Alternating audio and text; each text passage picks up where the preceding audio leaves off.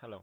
So in this example, we will try to tag and mark walls.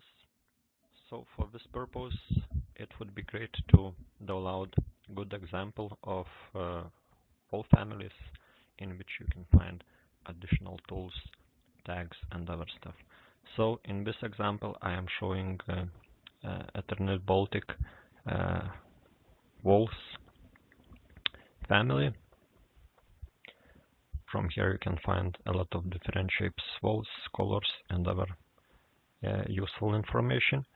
So I go to 2D wall tagging and uh, in this example the, the tag is created with different parameters so you can extract these parameters from the walls so description description thermal parameters length mark model model thermal parameters type comments and type marks. So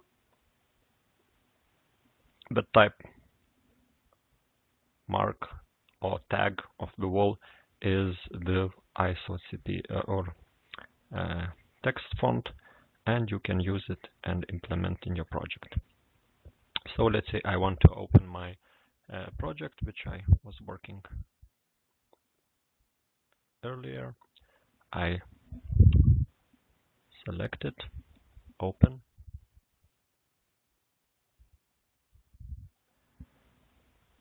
Now I can use uh, manage transfer project standards I select this uh, element and I want to uh, look for wall types. Also, I would like to implement tags, wall tags. I'm not sure, but I think transferring parameters, tagging objects cannot be extracted.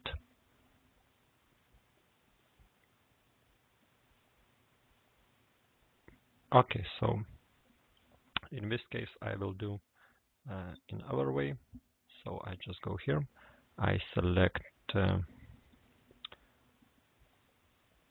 from from annotations from family I select wall wall wall wall tag. I press edit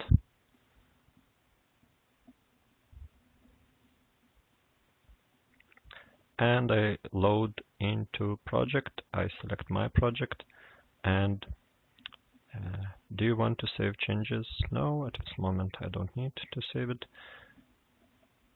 And it will insert this family object inside my family in my project. So from here I can choose and use all the parameters, description of the wall, uh, marks and other stuff and I can type all the information model. So let's say I will select maybe wall from the internet and from here you can see I can select all other parameters.